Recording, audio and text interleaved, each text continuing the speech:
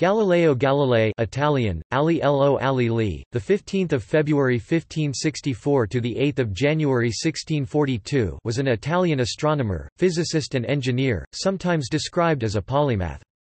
Galileo has been called the father of observational astronomy, the father of modern physics, the father of the scientific method, and the father of modern science. Galileo studied speed and velocity, gravity and free fall, the principle of relativity, inertia, projectile motion and also worked in applied science and technology, describing the properties of pendulums and hydrostatic balances, inventing the thermoscope and various military compasses, and using the telescope for scientific observations of celestial objects. His contributions to observational astronomy include the telescopic confirmation of the phases of Venus, the observation of the four largest satellites of Jupiter, the observation of Saturn and the analysis of sunspots. Galileo's championing of heliocentrism and Copernicanism was controversial during his lifetime, when most subscribed to either geocentrism or the Tychonic system. He met with opposition from astronomers, who doubted heliocentrism because of the absence of an observed stellar parallax. The matter was investigated by the Roman Inquisition in 1615, which concluded that heliocentrism was foolish and absurd in philosophy, and formally heretical since it explicitly contradicts in many places the sense of Holy Scripture. Galileo later defended his views in Dialogue concerning the two chief world systems 1632, which appeared to attack Pope Urban VIII and thus alienated him and the Jesuits, who had both supported Galileo up until this point. He was tried by the Inquisition, found vehemently suspect of heresy, and forced to recant. He spent the rest of his life under house arrest. While under house arrest, he wrote Two New Sciences, in which he summarized work he had done some 40 years earlier on the two sciences now called kinematics and strength of materials.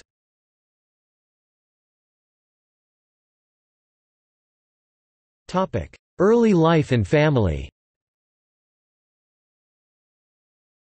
Galileo was born in Pisa then part of the Duchy of Florence, Italy, on 15 February 1564, the first of six children of Vincenzo Galilei, a famous lutenist, composer, and music theorist, and Giulia who had married in 1562. Galileo became an accomplished lutenist himself and would have learned early from his father a skepticism for established authority, the value of well-measured or quantified experimentation, an appreciation for a periodic or musical measure of time or rhythm, as well as the results expected from a combination of mathematics and experiment. Three of Galileo's five siblings survived infancy. The youngest, Michelangelo or Michelagnolo, also became a noted lutenist and composer although he contributed to financial burdens during Galileo's young adulthood. Michelangelo was unable to contribute his fair share of their father's promised dowries to their brothers-in-law, who would later attempt to seek legal remedies for payments due. Michelangelo would also occasionally have to borrow funds from Galileo to support his musical endeavors and excursions. These financial burdens may have contributed to Galileo's early desire to develop inventions that would bring him additional income. When Galileo Galilei was eight, his family moved to Florence, but he was left with Jacopo Borghini for two years. He was educated from 1575 to 1578 in the Vallombrosa Abbey, about 30 kilometers southeast of Florence.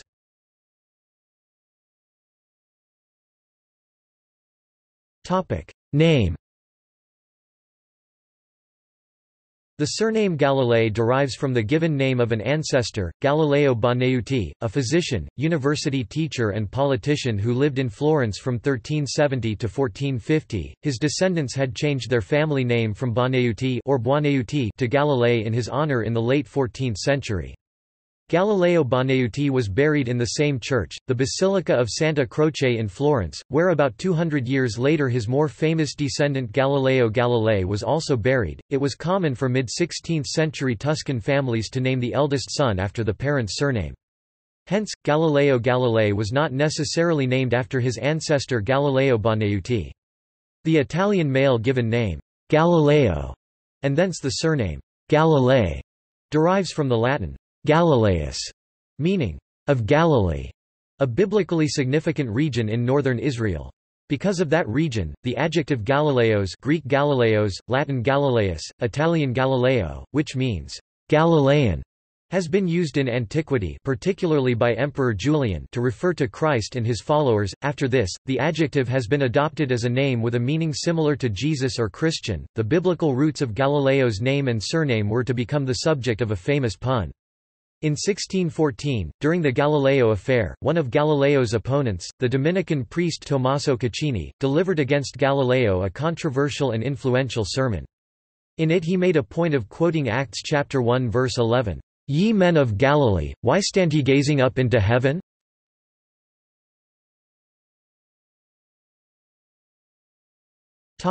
Children Despite being a genuinely pious Roman Catholic, Galileo fathered three children out of wedlock with Marina Gamba. They had two daughters, Virginia born in 1600 and Livia born in 1601, and a son, Vincenzo born in 1606. Because of their illegitimate birth, their father considered the girls unmarriageable, if not posing problems of prohibitively expensive support or dowries, which would have been similar to Galileo's previous extensive financial problems with two of his sisters. Their only worthy alternative was the religious life. Both girls were accepted by the convent of San Matteo in Arcetri and remained there for the rest of their lives. Virginia took the name Maria Celeste upon entering the convent. She died on 2 April 1634, and is buried with Galileo at the Basilica of Santa Croce, Florence. Livia took the name Sister Arcangela and was ill for most of her life. Vincenzo was later legitimized as the legal heir of Galileo and married Sestilia Boccineri.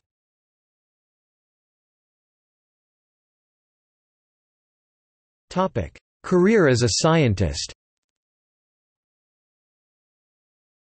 Although Galileo seriously considered the priesthood as a young man, at his father's urging he instead enrolled in 1580 at the University of Pisa for a medical degree. In 1581, when he was studying medicine, he noticed a swinging chandelier, which air currents shifted about to swing in larger and smaller arcs. To him, it seemed, by comparison with his heartbeat, that the chandelier took the same amount of time to swing back and forth, no matter how far it was swinging. When he returned home, he set up two pendulums of equal length and swung one with a large sweep and the other with a small sweep and found that they kept time together. It was not until the work of Christiaan Huygens, almost 100 years later, that the tautochrone nature of a swinging pendulum was used to create an accurate timepiece. Up to this point, Galileo had deliberately been kept away from mathematics, since a physician earned a higher income than a mathematician. However, after accidentally attending a lecture on geometry, he talked his reluctant father into letting him study mathematics and natural philosophy instead of medicine. He created a thermoscope, a forerunner of the thermometer, and, in 1586, published a small book on the design of a hydrostatic balance he had invented which first brought him to the attention of the scholarly world. Galileo also studied disegno, a term encompassing fine art, and, in 1588, obtained the position of instructor in the Accademia delle Arti del Disegno in Florence, teaching perspective and chiaroscuro. Being inspired by the artistic tradition of the city and the works of the Renaissance artists, Galileo acquired an aesthetic mentality. While a young teacher at the Accademia, he began a lifelong friendship with the Florentine painter Cigoli, who included Galileo's lunar observations in one of his paintings. In 1589, he was appointed to the chair of mathematics in Pisa. In 1591, his father died, and he was entrusted with the care of his younger brother Michelagnolo. In 1592, he moved to the University of Padua where he taught geometry, mechanics, and astronomy until 1610. During this period, Galileo made significant discoveries in both pure fundamental science for example, kinematics of motion and astronomy as well as practical applied science for example, strength of materials and pioneering the telescope. His multiple interests included the study of astrology, which at the time was a discipline tied to the studies of mathematics and astronomy.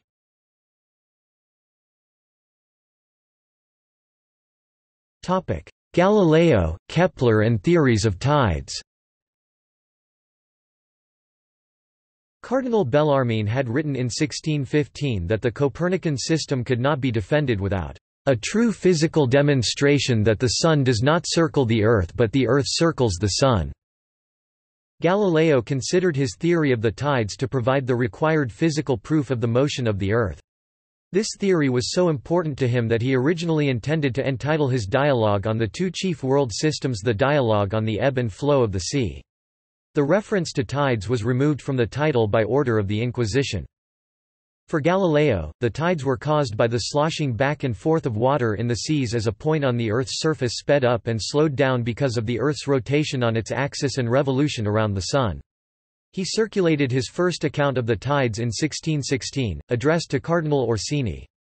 His theory gave the first insight into the importance of the shapes of ocean basins in the size and timing of tides. He correctly accounted, for instance, for the negligible tides halfway along the Adriatic Sea compared to those at the ends. As a general account of the cause of tides, however, his theory was a failure. If this theory were correct, there would be only one high tide per day. Galileo and his contemporaries were aware of this inadequacy because there are two daily high tides at Venice instead of one, about 12 hours apart. Galileo dismissed this anomaly as the result of several secondary causes including the shape of the sea, its depth, and other factors. Against the assertion that Galileo was deceptive in making these arguments, Albert Einstein expressed the opinion that Galileo developed his fascinating arguments and accepted them uncritically out of a desire for physical proof of the motion of the Earth. Galileo dismissed the idea, held by his contemporary Johannes Kepler, that the Moon caused the tides. Galileo also took no interest in Kepler's elliptical orbits of the planets.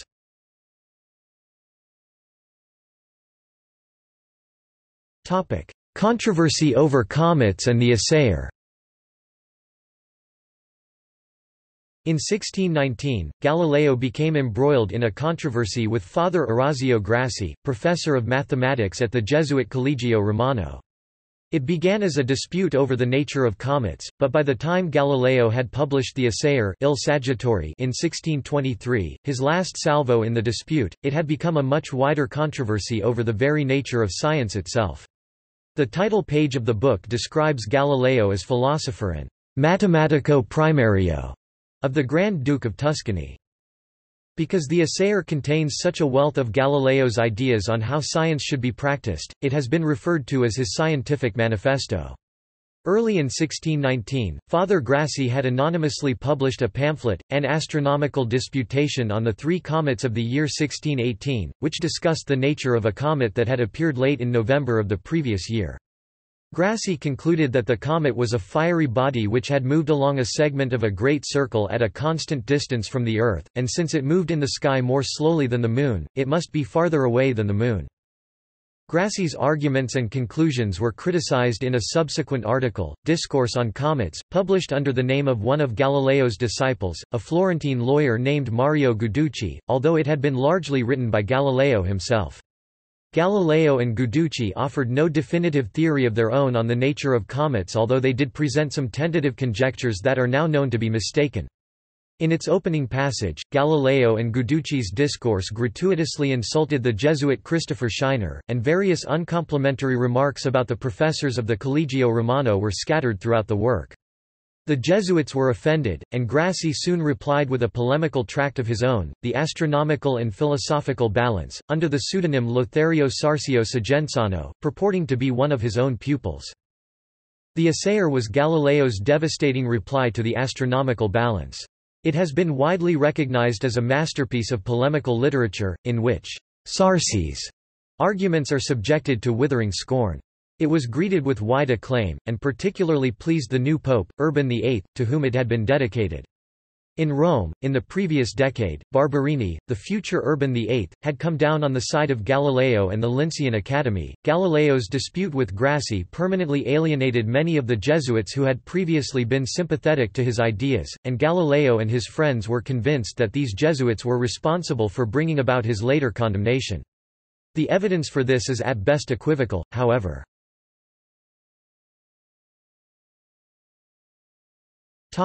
Controversy over heliocentrism. In the whole world prior to Galileo's conflict with the Church, the majority of educated people subscribed either to the Aristotelian geocentric view that the Earth was the center of the universe and that all heavenly bodies revolved around the Earth, or the Tychonic system that blended geocentrism with heliocentrism. Nevertheless, following the death of Copernicus and before Galileo, heliocentrism was relatively uncontroversial. Copernicus's work was used by Pope Gregory XIII to reform the calendar in 1582. Opposition to heliocentrism and Galileo's writings combined religious and scientific objections. Scientific opposition came from Tycho Brahe and others and arose from the fact that, if heliocentrism were true, an annual stellar parallax should be observed, though none was. Copernicus and Aristarchus had correctly postulated that parallax was negligible because the stars were so distant. However, Brahe had countered that, since stars appeared to have measurable size, if the stars were that distant, they would be gigantic, and in fact far larger than the Sun or any other celestial body. In Brahe's system, by contrast, the stars were a little more distant than Saturn, and the Sun and stars were comparable in size. Religious opposition to heliocentrism arose from biblical references such as Psalm chapter 93 verse 1, 96 to 10, and 1 Chronicles chapter 16 verse 30, which include texts stating that the world is firmly established; it cannot be moved. In the same manner, Psalm chapter 104 verse 5 says, the Lord set the earth on its foundations, it can never be moved." Further, Ecclesiastes chapter 1 verse 5 states that, "...and the sun rises and sets and returns to its place." Galileo defended heliocentrism based on his astronomical observations of 1609 Sidereus Nuncius 1610. In December 1613, the Grand Duchess Christina of Florence confronted one of Galileo's friends and followers, Benedetto Castelli, with biblical objections to the motion of the earth. According to Maurice Finocchiaro, this was done in a friendly and gracious manner, out of curiosity. Prompted by this incident, Galileo wrote a letter to Castelli in which he argued that heliocentrism was actually not contrary to biblical texts, and that the Bible was an authority on faith and morals, not on science. This letter was not published, but circulated widely. By 1615, Galileo's writings on heliocentrism had been submitted to the Roman Inquisition by Father Niccolò Lorini, who claimed that Galileo and his followers were attempting to reinterpret the Bible, which was seen as a violation of the Council of Trent and looked dangerously like Protestantism. Lorini specifically cited Galileo's letter to Castelli. Galileo went to Rome to defend himself and his Copernican and biblical ideas. At the start of 1616, Monsignor Francesco Ingoli initiated a debate with Galileo, sending him an essay disputing the Copernican system. Galileo later stated that he believed this essay to have been instrumental in the action against Copernicanism that followed. According to Maurice Finocchiaro, Ingoli had probably been commissioned by the Inquisition to write an expert opinion on the controversy, and the essay provided the chief direct basis for the Inquisition's actions. The essay focused on 18 physical and mathematical arguments against heliocentrism. It borrowed primarily from the arguments of Tycho Brahe, and it notedly mentioned Brahe's argument that heliocentrism required the stars to be much larger than the Sun. Ingoli wrote that the great distance to the stars in the heliocentric theory clearly proves the fixed stars to be of such size, as they may surpass or equal the size of the orbit circle of the Earth itself. The essay also included four theological arguments, but Ingoli suggested Galileo focus on the physical and mathematical arguments, and he did not mention Galileo's biblical ideas. In February 1616, an inquisitorial commission declared heliocentrism to be foolish and absurd in philosophy, and formally heretical since it explicitly contradicts in many places the sense of Holy Scripture. Quote, the Inquisition found that the idea of the Earth's movement receives the same judgment in philosophy and in regard to theological truth it is at least erroneous in faith. The original document from the Inquisitorial Commission was made widely available in 2014. Pope Paul V instructed Cardinal Bellarmine to deliver this finding to Galileo, and to order him to abandon the opinion that heliocentrism was physically true. On 26 February, Galileo was called to Bellarmine's residence and ordered to abandon completely the opinion that the Sun stands still at the center of the world and the Earth moves, and henceforth not to hold, teach, or defend it in any way whatever, either orally or in writing. The decree of the Congregation of the Index banned Copernicus's De Revolutionibus and other heliocentric works until correction. Bellarmine's instructions did not prohibit Galileo from discussing heliocentrism as a mathematical and philosophic idea, so long as he did not advocate for its physical truth. For the next decade, Galileo stayed well away from the controversy. He revived his project of writing a book on the subject, encouraged by the election of Cardinal Maffeo Barberini as Pope Urban VIII in 1623.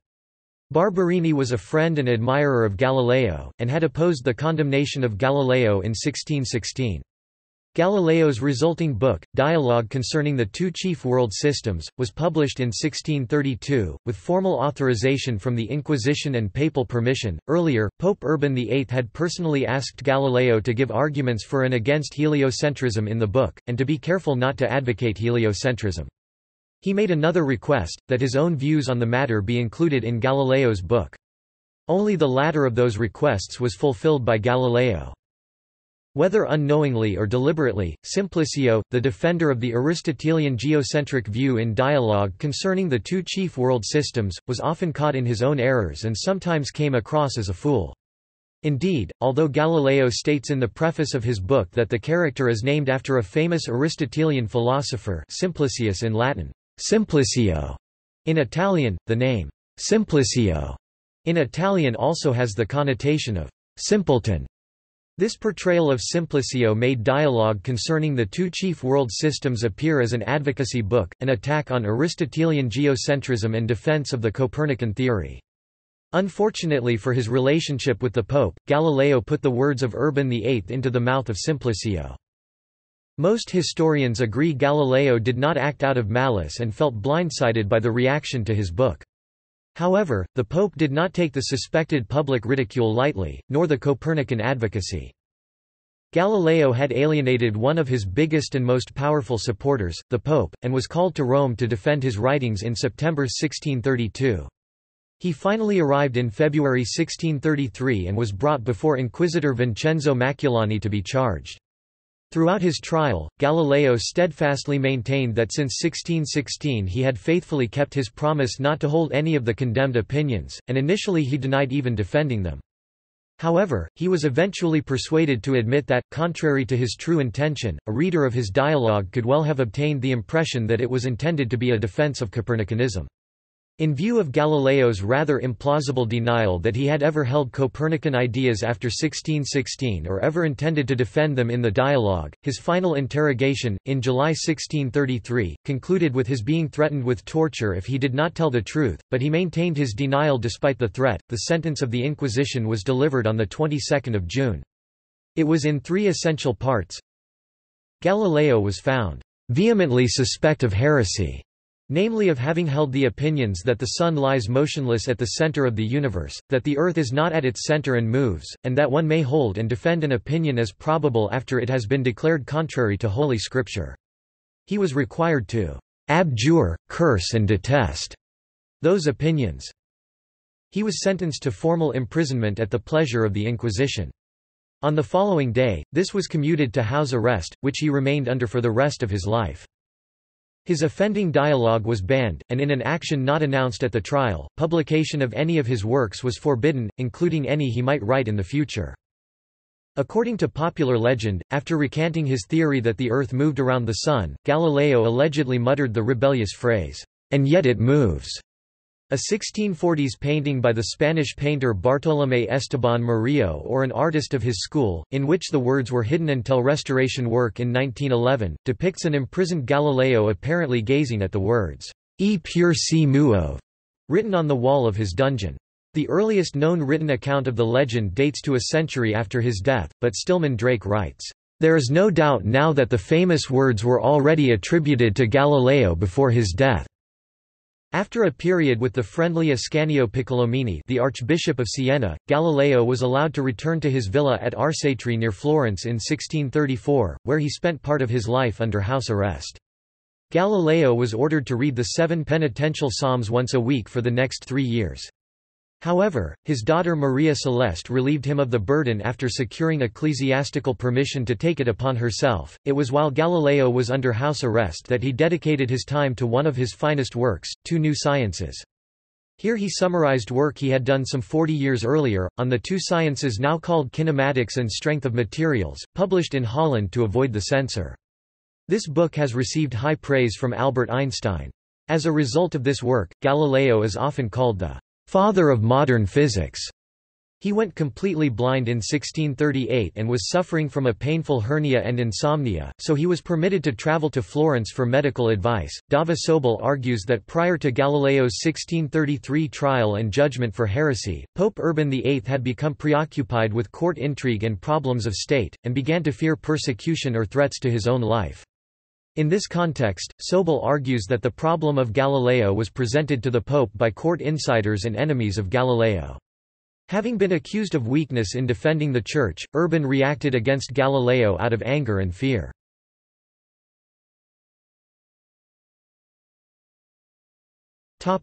Death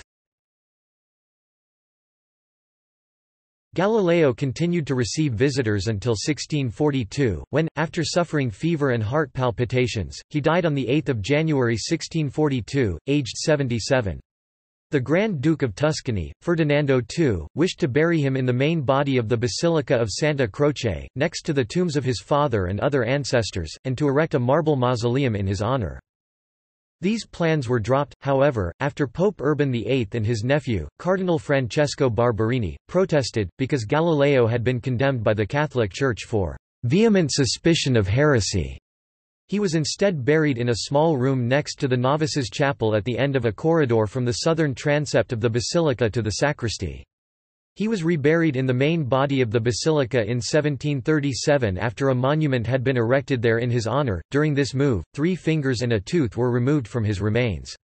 One of these fingers, the middle finger from Galileo's right hand, is currently on exhibition at the Museo Galileo in Florence, Italy.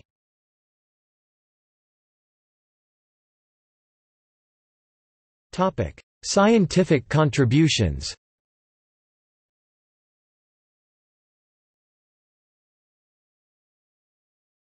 Topic: Scientific methods.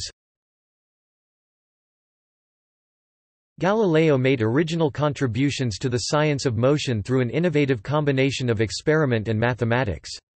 More typical of science at the time were the qualitative studies of William Gilbert, on magnetism and electricity.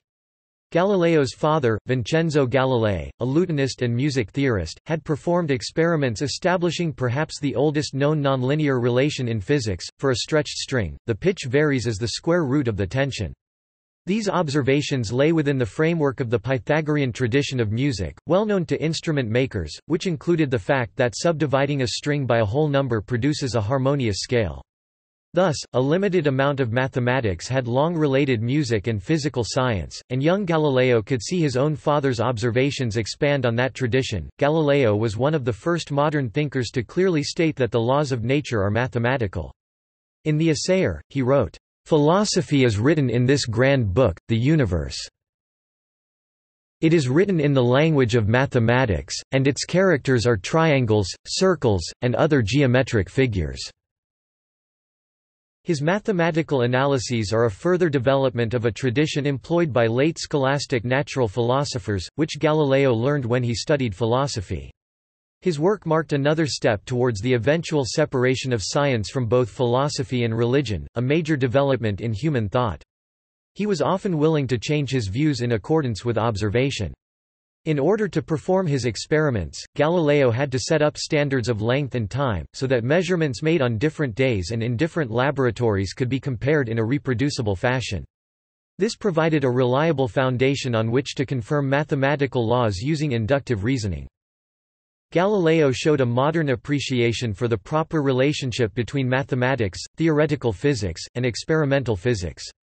He understood the parabola, both in terms of conic sections and in terms of the ordinate y varying as the square of the abscissa x. Galilei further asserted that the parabola was the theoretically ideal trajectory of a uniformly accelerated projectile in the absence of air resistance or other disturbances.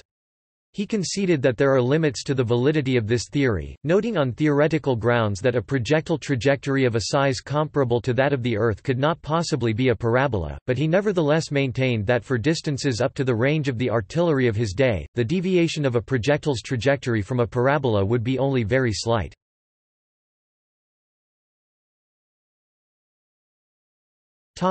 Astronomy Based only on uncertain descriptions of the first practical telescope which Hans Lippershey tried to patent in the Netherlands in 1608, Galileo, in the following year, made a telescope with about 3x magnification. He later made improved versions with up to about 30x magnification. With a Galilean telescope, the observer could see magnified, upright images on the Earth. It was what is commonly known as a terrestrial telescope or a spyglass. He could also use it to observe the sky, for a time he was one of those who could construct telescopes good enough for that purpose. On 25 August 1609, he demonstrated one of his early telescopes, with a magnification of about 8 or 9, to Venetian lawmakers. His telescopes were also a profitable sideline for Galileo, who sold them to merchants who found them useful both at sea and as items of trade. He published his initial telescopic astronomical observations in March 1610 in a brief treatise entitled Sidereus Nuncius Starry Messenger.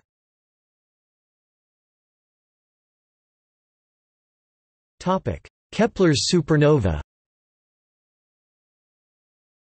Tycho and others had observed the supernova of 1572. Ottavio Brenzoni's letter of 15 January 1605 to Galileo brought the 1572 supernova and the less bright nova of 1601 to Galileo's notice. Galileo observed and discussed Kepler's supernova in 1604. Since these new stars displayed no detectable diurnal parallax, Galileo concluded that they were distant stars, and, therefore, disproved the Aristotelian belief in the immutability of the heavens.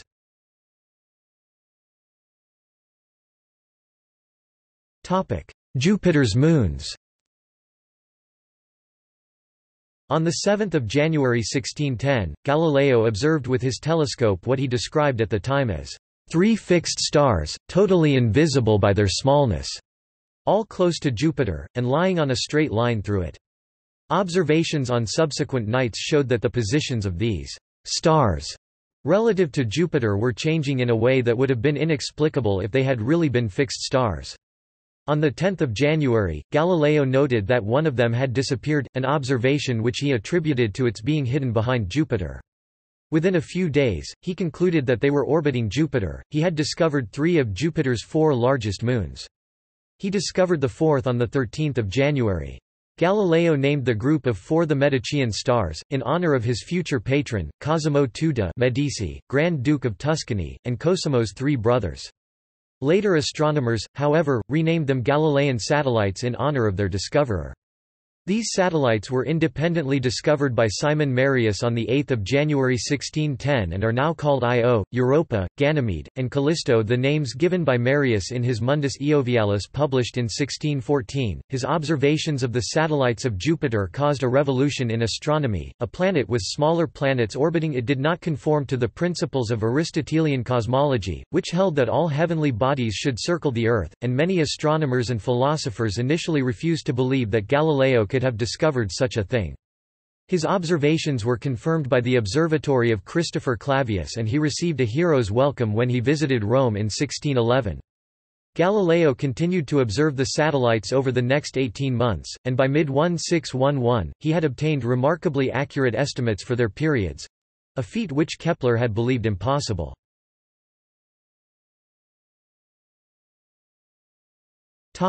Venus, Saturn, and Neptune From September 1610, Galileo observed that Venus exhibited a full set of phases similar to that of the Moon. The heliocentric model of the Solar System developed by Nicolaus Copernicus predicted that all phases would be visible since the orbit of Venus around the Sun would cause its illuminated hemisphere to face the Earth when it was on the opposite side of the Sun and to face away from the Earth when it was on the Earth side of the Sun. On the other hand, in Ptolemy geocentric model it was impossible for any of the planets' orbits to intersect the spherical shell carrying the Sun. Traditionally, the orbit of Venus was placed entirely on the near side of the Sun, where it could exhibit only crescent and new phases. It was, however, also possible to place it entirely on the far side of the Sun, where it could exhibit only gibbous and full phases. After Galileo's telescopic observations of the crescent, gibbous and full phases of Venus, the Ptolemaic model became untenable. Thus in the early 17th century, as a result of his discovery, the great majority of astronomers converted to one of the various geo-heliocentric planetary models, such as the Tychonic, Capellan and extended Capellan models, each either with or without a daily rotating Earth. These all had the virtue of explaining the phases of Venus without the vice of the refutation of full heliocentrism's prediction of stellar parallax. Galileo's discovery of the phases of Venus was thus arguably his most empirically practically influential contribution to the two-stage transition from full geocentrism to full heliocentrism via geoheliocentrism. Galileo observed the planet Saturn, and at first mistook its rings for planets, thinking it was a three-bodied system. When he observed the planet later, Saturn's rings were directly oriented at Earth, causing him to think that two of the bodies had disappeared. The rings reappeared when he observed the planet in 1616, further confusing him. Galileo also observed the planet Neptune in 1612. It appears in his notebooks as one of many unremarkable dim stars. He did not realize that it was a planet, but he did note its motion relative to the stars before losing track of it.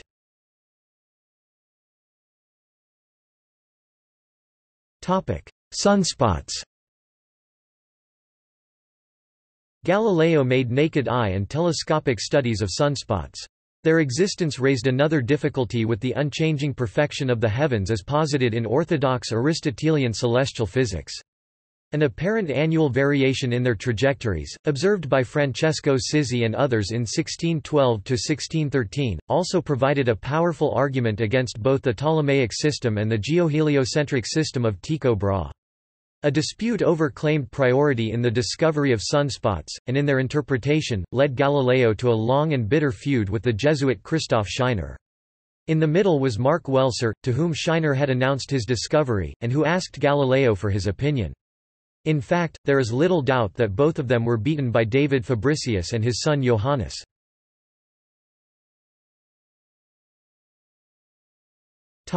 Moon Prior to Galileo's construction of his version of a telescope, Thomas Harriot, an English mathematician and explorer, had already used what he dubbed a perspective tube to observe the Moon. Reporting his observations, Harriot noted only strange spottedness in the waning of the crescent, but was ignorant to the cause. Galileo, due in part to his artistic training and the knowledge of chiaroscuro, had understood the patterns of light and shadow were, in fact, topographical markers. While not being the only one to observe the Moon through a telescope, Galileo was the first to deduce the cause of the uneven waning as light occlusion from lunar mountains and craters. In his study, he also made topographical charts, estimating the heights of the mountains.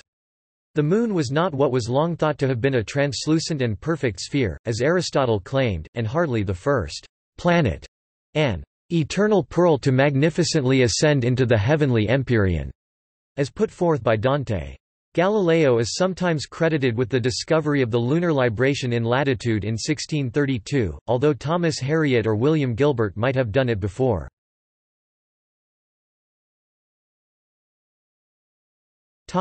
Milky Way and stars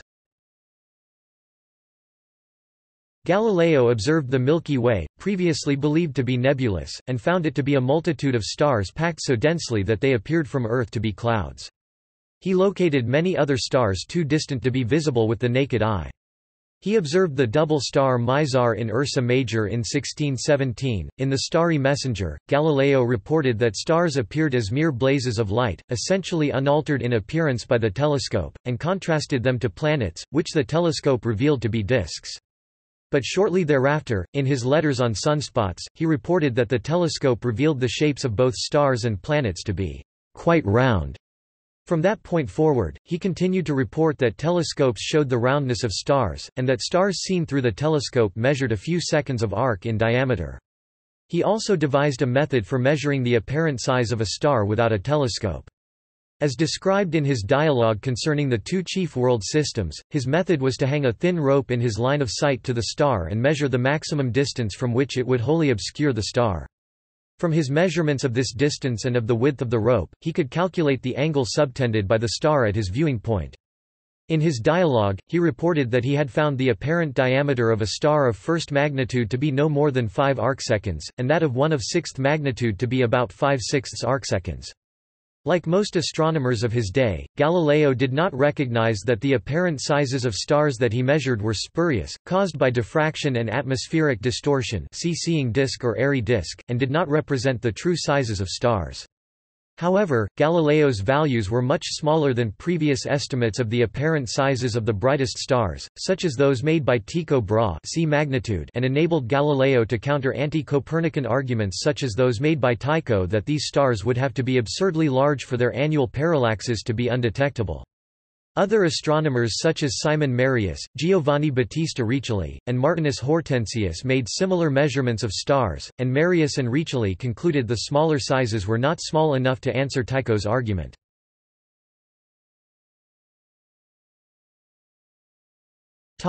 Engineering Galileo made a number of contributions to what is now known as engineering, as distinct from pure physics.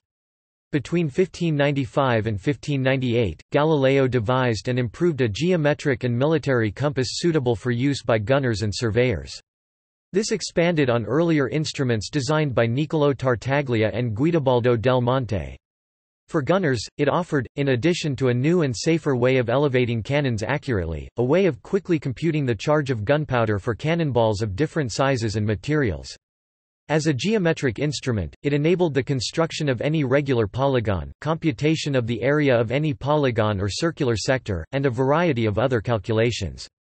Under Galileo's direction, instrument maker Marcantonio Mazzoleni produced more than 100 of these compasses, which Galileo sold along with an instruction manual he wrote for 50 lire and offered a course of instruction in the use of the compasses for 120 lire. In about 1593, Galileo constructed a thermometer, using the expansion and contraction of air in a bulb to move water in an attached tube.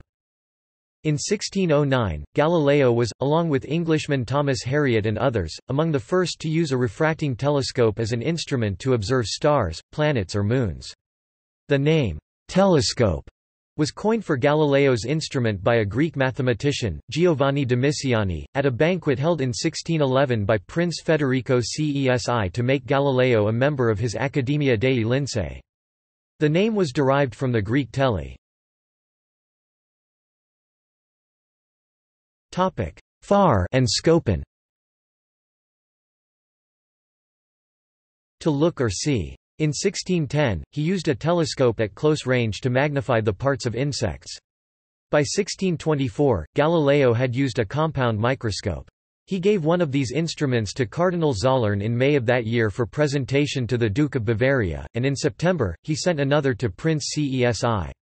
The Linceans played a role again in naming the microscope a year later when fellow Academy member Giovanni Faber coined the word for Galileo's invention from the Greek words micron, micron meaning small and scopon, scopon meaning to look at. The word was meant to be analogous with telescope Illustrations of insects made using one of Galileo's microscopes and published in 1625, appear to have been the first clear documentation of the use of a compound microscope. In 1612, having determined the orbital periods of Jupiter's satellites, Galileo proposed that with sufficiently accurate knowledge of their orbits, one could use their positions as a universal clock, and this would make possible the determination of longitude. He worked on this problem from time to time during the remainder of his life, but the practical problems were severe.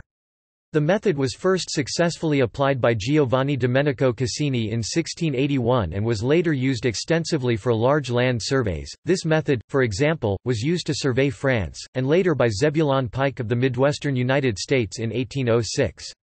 For sea navigation, where delicate telescopic observations were more difficult, the longitude problem eventually required development of a practical portable marine chronometer, such as that of John Harrison. Late in his life, when totally blind, Galileo designed an escapement mechanism for a pendulum clock called Galileo's escapement, although no clock using this was built until after the first fully operational pendulum clock was made by Christiaan Huygens in the 1650s. Galileo was invited on several occasions to advise on engineering schemes to alleviate river flooding. In 1630 Mario Guiducci was probably instrumental in ensuring that he was consulted on a scheme by Bartolotti to cut a new channel for the Bisenzio River near Florence.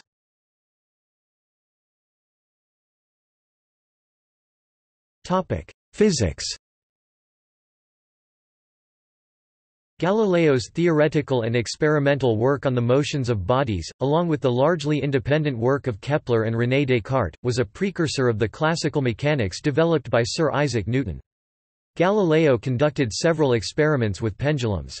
It is popularly believed thanks to the biography by Vincenzo Viviani that these began by watching the swings of the bronze chandelier in the Cathedral of Pisa, using his pulse as a timer.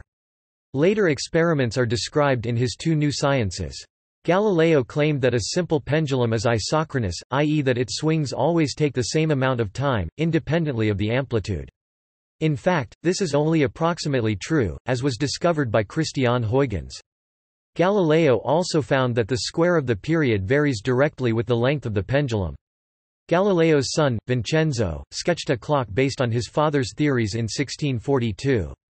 The clock was never built and, because of the large swings required by its verge escapement, would have been a poor timekeeper. See engineering above. Galileo is lesser known for, yet still credited with, being one of the first to understand sound frequency. By scraping a chisel at different speeds, he linked the pitch of the sound produced to the spacing of the chisel skips, a measure of frequency. In 1638, Galileo described an experimental method to measure the speed of light by arranging that two observers, each having lanterns equipped with shutters, observe each other's lanterns at some distance. The first observer opens the shutter of his lamp, and, the second, upon seeing the light, immediately opens the shutter of his own lantern. The time between the first observer's opening his shutter and seeing the light from the second observer's lamp indicates the time it takes light to travel back and forth between the two observers. Galileo reported that when he tried this at a distance of less than a mile, he was unable to determine whether or not the light appeared instantaneously. Sometime between Galileo's death and 1667, the members of the Florentine Accademia del Cimento repeated the experiment over a distance of about a mile and obtained a similarly inconclusive result. We now know that the speed of light is far too fast to be measured by such methods with human shutter openers on Earth. Galileo put forward the basic principle of relativity, that the laws of physics are the same in any system that is moving at a constant speed in a straight line, regardless of its particular speed or direction. Hence, there is no absolute motion or absolute rest. This principle provided the basic framework for Newton's laws of motion and is central to Einstein's special theory of relativity.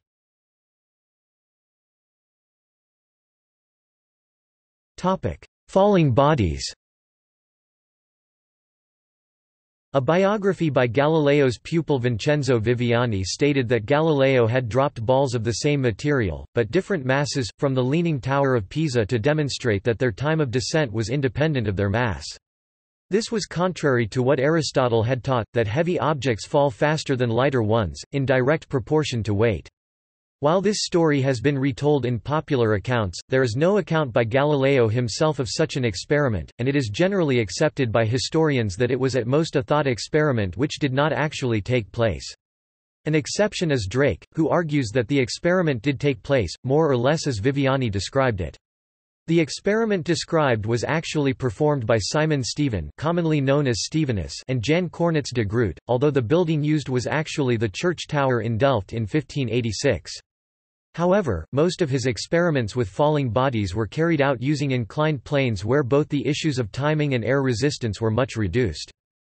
In his 1638 Discorsi, Galileo's character Salviati, widely regarded as Galileo's spokesman, held that all unequal weights would fall with the same finite speed in a vacuum. But this had previously been proposed by Lucretius and Simon Stevin. Cristiano Banti's Salviati also held it could be experimentally demonstrated by the comparison of pendulum motions in air with bobs of lead and of cork which had different weight but which were otherwise similar. Galileo proposed that a falling body would fall with a uniform acceleration, as long as the resistance of the medium through which it was falling remained negligible, or in the limiting case of its falling through a vacuum. He also derived the correct kinematical law for the distance traveled during a uniform acceleration starting from rest, namely, that it is proportional to the square of the elapsed time dt2. Prior to Galileo, Nicole Oresme, in the 14th century, had derived the times-squared law for uniformly accelerated change, and Domingo de Soto had suggested in the 16th century that bodies falling through a homogeneous medium would be uniformly accelerated. Galileo expressed the time-squared law using geometrical constructions and mathematically precise words, adhering to the standards of the day, it remained for others to re-express the law in algebraic terms. He also concluded that objects retain their velocity in the absence of any impediments to their motion, thereby contradicting the generally accepted Aristotelian hypothesis that a body could only remain in so-called violent, unnatural, or forced Motion so long as an agent of change the mover continued to act on it. Philosophical ideas relating to inertia had been proposed by John Philoponus and Jean Buridan. Galileo stated, Imagine any particle projected along a horizontal plane without friction, then we know, from what has been more fully explained in the preceding pages, that this particle will move along this same plane with a motion which is uniform and perpetual, provided the plane has no limits. This was incorporated into Newton's laws of motion first law.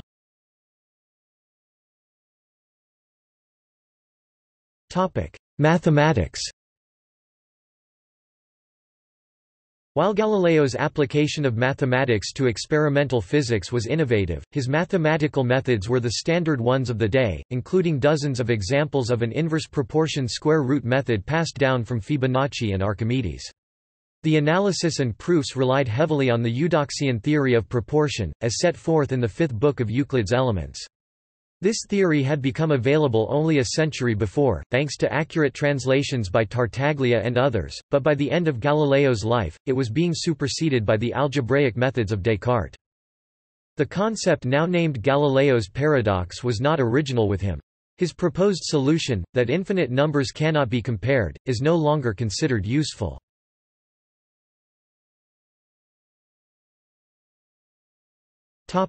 Timeline. 1543 Nicolaus Copernicus publishes De Revolutionibus Orbium Coelestium as an alternative world system to the Ptolemy geocentric model causing subsequent questions to be raised about Aristotelian physics following Copernicus' death. 1563 Parents Vincenzo Galilei and Giulia Ammannati marry. 1564 Birth in Pisa, Italy 1570 Thomas Digges publishes Pantometria describing a telescope built between 1540 to 1559 by his father Leonard Digges. 1573 Tycho Brahe publishes De Nova Stella on the new star refuting Aristotelian belief in immutable celestial spheres and an eternal, unchanging, more perfect heavenly realm of celestial ether above the Moon. 1576 Giuseppe Moletti, Galileo's predecessor in the mathematics chair at Padua, reports falling bodies of the same shape fall at the same speed, regardless of material. 1581 His father, Vincenzo Galilei publishes Dialogo della musica antica et moderna formulating musical theories. 1581 enrolls as medical student at University of Pisa. 1582 attends mathematics lecture by Ostilio Ricci and decides to study math and science. 1585 leaves University of Pisa without degree and works as tutor. 1586 invents hydrostatic balance, wrote La Bilancetta the Little Balance. 1586 Simon Stevin publishes results for dropping lead weights from 10 meters. 1588 Tycho Brahe publishes work on comets containing a description of the Tychonic system of the world. 1589 appointed to mathematics chair, University of Pisa. Tilde 1590 partially completes De Motu on motion, which is never published. 1591 Death of his father, Vincenzo Galilei. 1592 Appointed professor of mathematics at University of Padua, remains 18 years. Tilde 1593 invents early thermometer that unfortunately depended on both temperature and pressure. Tilde 1595 invents improved ballistics calculation geometric and military compass, which he later improves for surveying and general calculations and earns income from tutoring on its use. 1597 letter to Kepler indicates his belief in the Copernican system. 1600 first child, Virginia is born, tilde 1600 La Mécanique mechanics. 1600 William Gilbert publishes on the magnet and magnetic bodies, and on that great magnet the Earth with arguments supporting the Copernican system. 1600 Roman Inquisition finds Giordano Bruno, Copernican system supporter, guilty of heresy for opinions on pantheism and the eternal plurality of worlds, and for denial of the Trinity, divinity of Christ, virginity of Mary, and transubstantiation, burned at the stake by civil authorities. 1601 Daughter Livia is born 1604 measures supernova position indicating no parallax for the new star 1605 sued by brothers-in-law for non-payment of sisters' dowries. 1606 son Vincenzo born. 1606 publishes manual for his calculating compass. 1607 Rotilio Orlandini attempts to assassinate Galileo's friend, Friar Paolo Sarpi. 1608 Hans Lippershey invents a refracting telescope 1609 independently invents and improves telescopes based on description of invention by Hans Lippershey. 1609 Kepler publishes Astronomia Nova containing his first two laws and for the first time demonstrates the Copernican model is more accurate than the Ptolemaic for uses such as navigation and prediction. 1609 Thomas Harriot sketches the Moon from telescopic observations made four months before Galileo's 1610 publishes Sidereus Nuncius Starry Messenger, views our Moon's mountains and craters and brightest four of Jupiter's moons. 1610 Martin Horky publishes Brevissima Peregrinatio contra Nuncium Sidereum, opposing Galileo. 1610 Kepler requests one of Galileo's telescopes or lenses, but Galileo replies he is too busy to build one and has no extras. 1610 Lifetime appointment to mathematics posit Ion at University of Padua, and as mathematician and philosopher for Cosimo II, Grand Duke of Tuscany. 1611 discovers phases of Venus, granted audience with Pope, made member of Lincean Academy. 1611 awarded an honorary degree by the Jesuit College in Rome. 1611 David Fabricius publishes narration on spots observed on the Sun and their apparent rotation with the Sun prior to Christoph Scheiner and Galileo's published works on the subject 1612 proposed Jupiter's moons could be used as a universal clock for possible determination of longitude. Tilde 1612 or 1613 Francesco Sizzi discovers annual variations in sunspots' motions. 1613 Letters on sunspots 1613 Letter to Benedetto Castelli discussing the rotation of the Sun and Galileo's support of the Copernican system. Using biblical inerrancy as a basis, Galileo writes that Joshua's command for the sun to stand still in Joshua chapter 10 verse 13 proves the impossibility of the Aristotelian and Ptolemaic world system, and on the other hand agrees very well with the Copernican one. He went on to write that the Sun gives not only light as it obviously does, but also motion to all the planets that revolve around it by its rotation. 1615 letter to Grand Duchess Christina not published until 1636 1616 officially warned by the Church not to hold or defend the Copernican system. 1616 The Catholic Church places De Revolutionibus Orbium Coelestium on the list of prohibited books, pending correction. 1616 Private letter, "'Discourse on the Tides' 1617 moves into Bellosguardo, west of Florence, near his daughter's convent, observes double star Mizar in Ursa Major. 1619 Kepler publishes Harmonices Mundi which introduces his third law. 1619 Discourse on the Comets 1623 Maffeo Barberini becomes Pope Urban VIII 1623 publishes the Assayer 1624 visits Pope who praises and honors him, leaving with assumed permission to publish work on the Copernican verses. Ptolemaic systems, used a compound microscope. 1625 Illustrations of insects made using one of Galileo's microscopes published. 1630 completes dialogue concerning the two chief world systems and subsequently receives approval of church censor 1630 invited by Grand Duke Ferdinand II of Tuscany to advise on proposed engineering works on the Bisenzio River. 1631 produces report on the Bisenzio engineering proposals, arguing against them. 1632 publishes dialogue concerning the two chief world systems. 1633 sentenced by the Inquisition to imprisonment, commuted to house arrest, for vehement suspicion of heresy in violating the 1616 injunction. 1633 Catholic Church places dialogue concerning the two chief world systems on the list of prohibited books. 1638 publishes dialogues concerning two new sciences. 1642 Death in Arcetri, Italy.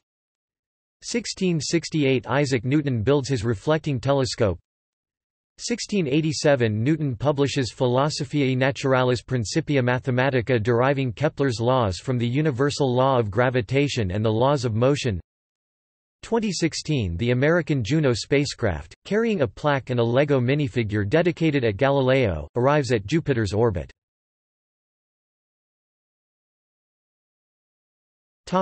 Legacy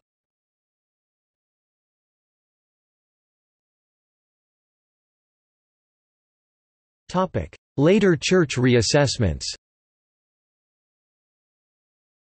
The Galileo affair was largely forgotten after Galileo's death, and the controversy subsided. The Inquisition's ban on reprinting Galileo's works was lifted in 1718 when permission was granted to publish an edition of his works excluding the condemned dialogue in Florence. In 1741, Pope Benedict XIV authorized the publication of an edition of Galileo's complete scientific works which included a mildly censored version of the dialogue. In 1758, the general prohibition against works advocating heliocentrism was removed from the index of prohibited books, although the specific ban on uncensored versions of the dialogue in Copernicus's De Revolutionibus remained. All traces of official opposition to heliocentrism by the Church disappeared in 1835 when these works were finally dropped from the index. Interest in the Galileo affair was revived in the early 19th century, when Protestant polemicists used it and other events such as the Spanish Inquisition and the myth of the flat earth to attack Roman Catholicism. Interest in it has waxed and waned ever since.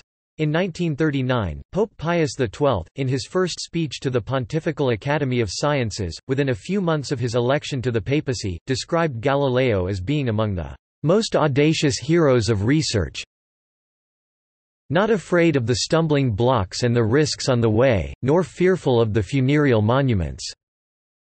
His close advisor of 40 years, Professor Robert Leiber, wrote, Pius XII was very careful not to close any doors to science prematurely. He was energetic on this point and regretted that in the case of Galileo. On 15 February 1990, in a speech delivered at the Sapienza University of Rome, Cardinal Ratzinger later Pope Benedict XVI cited some current views on the Galileo affair as forming what he called a symptomatic case that permits us to see how deep the self-doubt of the modern age, of science and technology goes today." Some of the views he cited were those of the philosopher Paul Feyerabend, whom he quoted as saying, "...the Church at the time of Galileo kept much more closely to reason than did Galileo himself, and she took into consideration the ethical and social consequences of Galileo's teaching too." Her verdict against Galileo was rational and just and the revision of this verdict can be justified only on the grounds of what is politically opportune." The cardinal did not clearly indicate whether he agreed or disagreed with Feyerabend's assertions. He did, however, say, "...it would be foolish to construct an impulsive apologetic on the basis of such views." On 31 October 1992, Pope John Paul II expressed regret for how the Galileo affair was handled, and issued a declaration acknowledging the errors committed by the Catholic Church tribunal that judged the scientific positions of Galileo Galilei, as the result of a study conducted by the Pontifical Council for Culture. In March 2008, the head of the Pontifical Academy of Sciences, Nicola Cabibbo, announced a plan to honor Galileo by erecting a statue of him inside the Vatican walls. In December of the same year, during events to mark the 400th anniversary of Galileo's earliest telescopic observations, Pope Benedict XVI praised his contributions to astronomy. A month later, however, the head of the Pontifical Council for Culture, Gianfranco Ravasi, revealed that the plan to erect a statue of Galileo in the grounds of the Vatican had been suspended.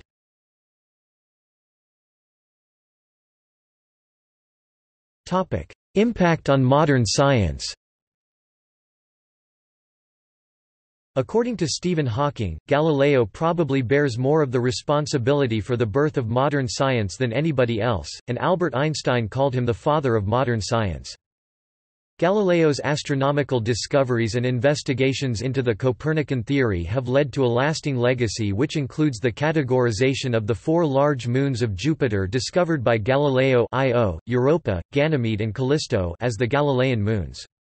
Other scientific endeavors and principles are named after Galileo including the Galileo spacecraft, the first spacecraft to enter orbit around Jupiter, the proposed Galileo Global Satellite Navigation System, the transformation between inertial systems in classical mechanics denoted Galilean transformation and the Gal unit, sometimes known as the Galileo, which is a non-SI unit of acceleration. Partly because 2009 was the fourth centenary of Galileo's first recorded astronomical observations with the telescope, the United Nations scheduled it to be the International Year of Astronomy. A global scheme was laid out by the International Astronomical Union IAU, also endorsed by UNESCO—the UN body responsible for educational, scientific and cultural matters. The International Year of Astronomy 2009 was intended to be a global celebration of astronomy and its contributions to society and culture, stimulating worldwide interest not only in astronomy but science in general, with a particular slant towards young people. Asteroid 697 Galilea is named in his honor.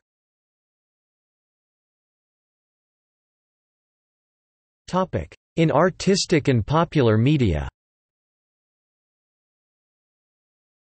Galileo is mentioned several times in the opera section of the Queen song, Bohemian Rhapsody. He features prominently in the song, Galileo, performed by the Indigo Girls and Amy Grant's Galileo on her Heart in Motion album. 20th-century plays have been written on Galileo's life, including Life of Galileo 1943 by the German playwright Bertolt Brecht, with a film adaptation 1975 of it, and Lamp at Midnight 1947 by Barry Stavis, as well as the 2008 play, Galileo Galilei, Kim Stanley Robinson wrote a science fiction novel entitled Galileo's Dream 2009, in which Galileo is brought into the future to help resolve a crisis of scientific philosophy. The story moves back and forth between Galileo's own time and a hypothetical distant future and contains a great deal of biographical information. Galileo Galilei was recently selected as a main motif for a high-value collector's coin, the 25 euros International Year of Astronomy commemorative coin, minted in 2009. This coin also commemorates the 400th anniversary of the invention of Galileo's telescope. The obverse shows a portion of his portrait and his telescope. The background shows one of his first drawings of the surface of the Moon. In the silver ring, other telescopes are depicted, the Isaac Newton telescope, the observatory in Kremsmünster Abbey, a modern telescope, a radio telescope and a space telescope. In 2009, the Galileoscope was also released. This is a mass-produced, low-cost educational 2-inch telescope with relatively high quality.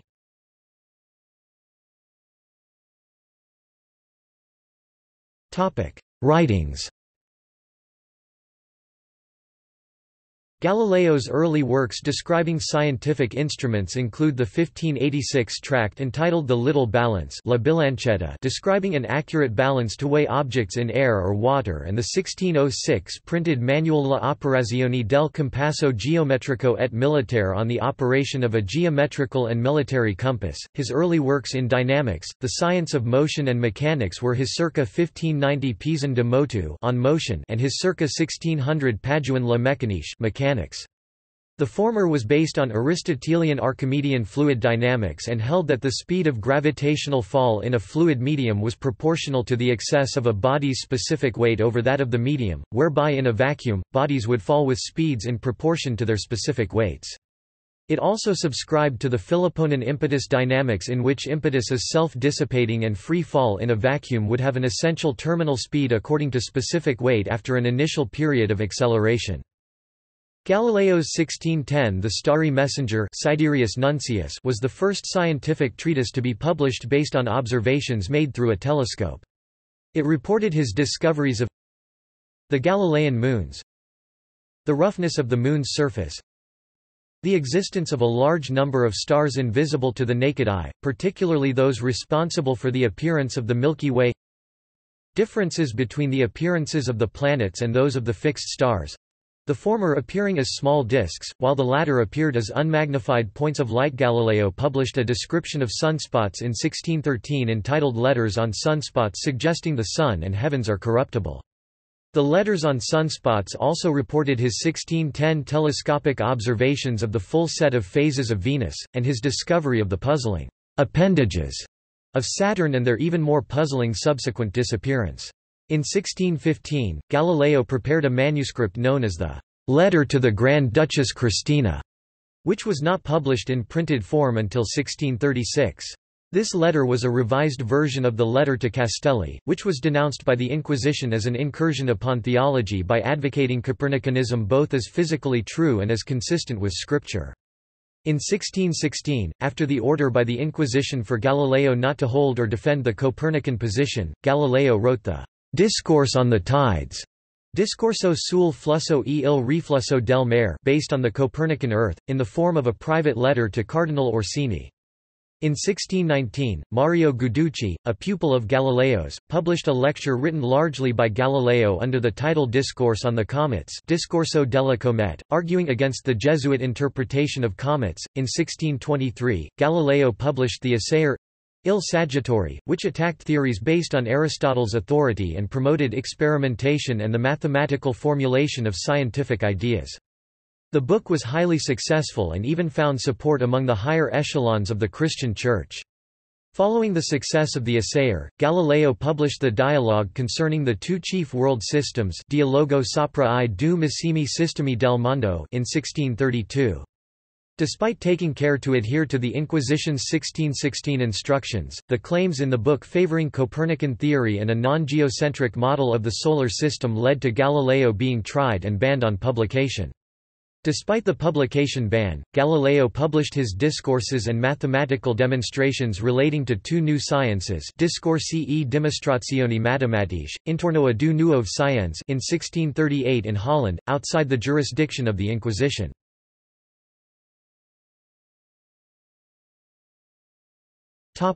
Published written works Galileo's main written works are as follows the Little Balance 1586, in Italian, La Bilancetta On Motion c. 1590, in Latin, De Motu Antiquiora Mechanics c. 1600, in Italian, Le Meccaniche. The Operations of Geometrical and Military Compass 1606, in Italian, La Operazioni del Compasso Geometrico et Militare. The Starry Messenger 1610, in Latin, Sidereus Nuncius Discourse on Floating Bodies 1612, in Italian, Discorso intorno alla cose che stanno in su l'acqua, o che in quella si muovono. Discourse on Bodies that Stay Atop Water, or Move in It.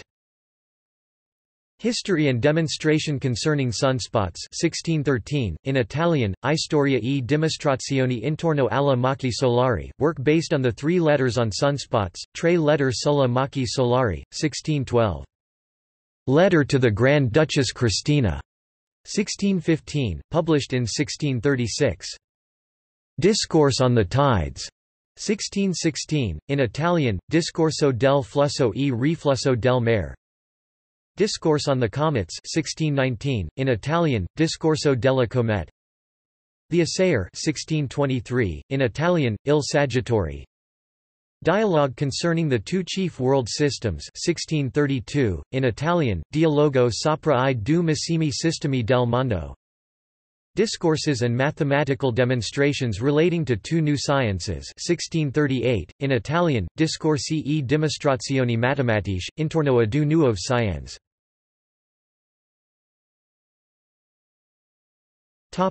See also.